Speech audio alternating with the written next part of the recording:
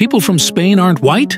The US Census excludes Spaniards from European and white category and puts it into the Latino category, which is strange because Portuguese people aren't in that category while Portuguese-speaking Brazilians are. But are they correct? One might assume that due to their location being close to North Africa, that Spaniards are somehow different from other Europeans. The reality, however, will shock you. At 30%, Spaniards have just as much European hunter-gatherer ancestry as Northern Italians, and more of that ancestry than Southern Italians, Greeks, and Albanians. Yet no one ever says that Greeks aren't Europeans. Spaniard paternal lineage is also heavily that of Yamnaya nomads who spread the Indo-European languages and identity. Spanish percentage of R1b is at the same levels as it is in French and Englishmen. As for Spain's proximity to North Africa, there is a trace of North African ancestry, but it is quite low. On average, Spaniards only have 4% of North African Neolithic farmer ancestry, with that ancestry peaking in Canary Islands at 10%, who also score 1% Sub-Saharan African.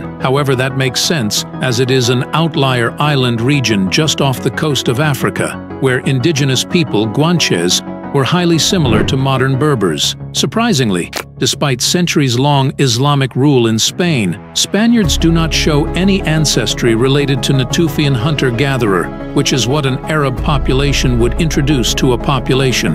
That ancestry exists in Sicilians, Maltese, and Balkaners, but not in Spaniards, which shows that the armies invading Spain must have been almost entirely of North African stock.